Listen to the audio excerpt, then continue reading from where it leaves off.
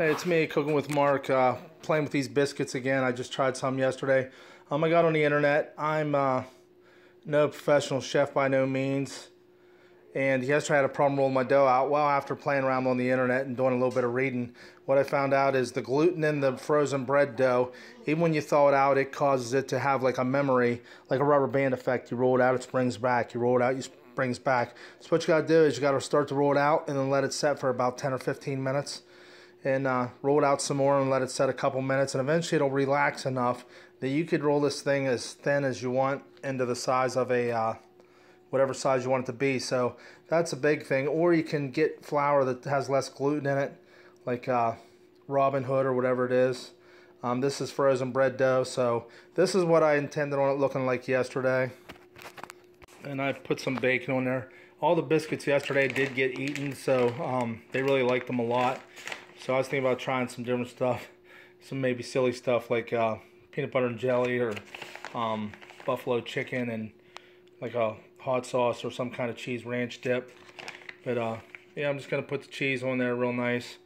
Like I said, you just gotta let your bread um, dough, you gotta let it um, set and it'll relax. What I'm gonna do next is I'm gonna go and roll this up. I'm gonna start with this ends and just roll it up into a big roll. So what I'm doing right now, see how I'm just rolling it? I'm going to roll it into a big roll here. And although it does appear to be like a stromboli, it does have the it'll have the layers of dough in between each layer of cheese. So that's what I was trying to achieve. I'm going to throw it in the air fryer for probably 7 to 10 minutes on uh, I'll do like uh, 275 and we'll see what happens here.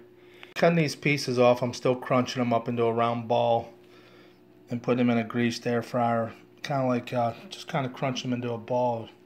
I guess the only way I can describe it.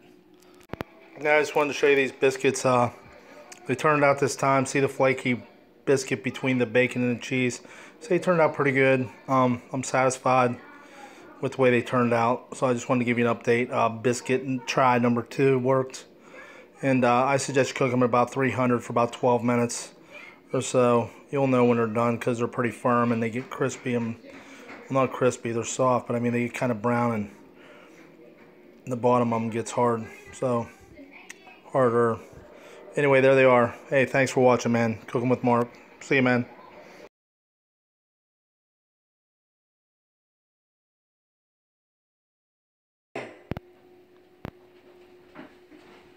What's up? What's up with you?